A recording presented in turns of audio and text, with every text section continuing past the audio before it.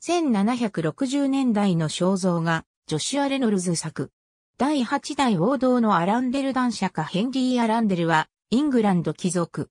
第7代王道のアランデル男爵ヘンリー・アランデルと、メアリー・ベディングス・アランデルの息子として、1740年3月31日に生まれた。1753年8月16日から1758年5月1日までフランスで教育を受けた。1756年9月12日に父が死去すると、王道のアランデル男爵の爵位を継承。1769年に母が死去すると、ランハーンでの財産を継承した。